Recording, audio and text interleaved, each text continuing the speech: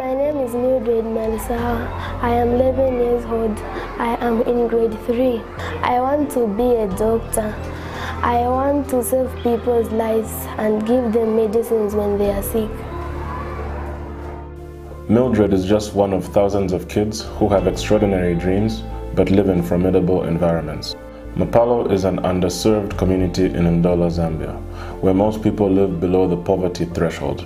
One of the greatest consequences of this is the lack of access to education for its inhabitants.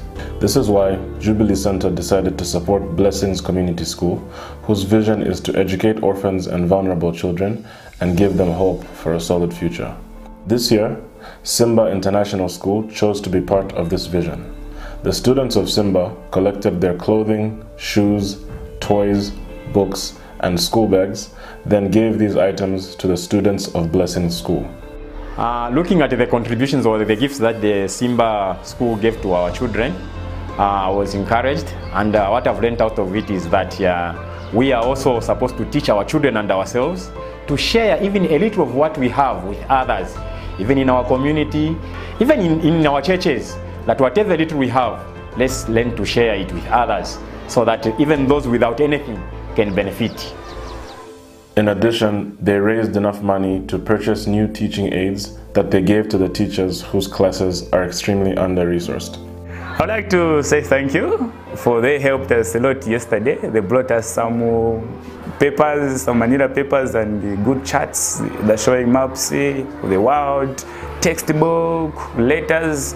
So those gifts will help us to teach the learners because we used to teach them out of things they don't know. Now, this time around, we'll be teaching them, they'll be using the books on their own, they'll be applying knowledge that they get. So in terms of teaching, it will be very simple because we have a lot of uh, teaching aids. The biggest gift that was enjoyed by both groups of students was that of fellowship and community.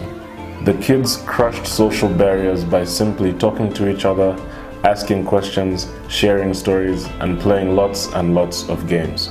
We appreciate the parents because these children don't just come on their own, their parents were also passionate to, to serve God in this manner and help those children who, are, who really need help.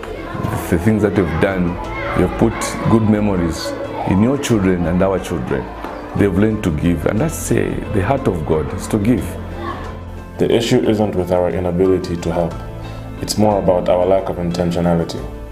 These students have been able to impact an entire school with their willingness to step outside their comfort zones and touch the lives of strangers. What's your next move?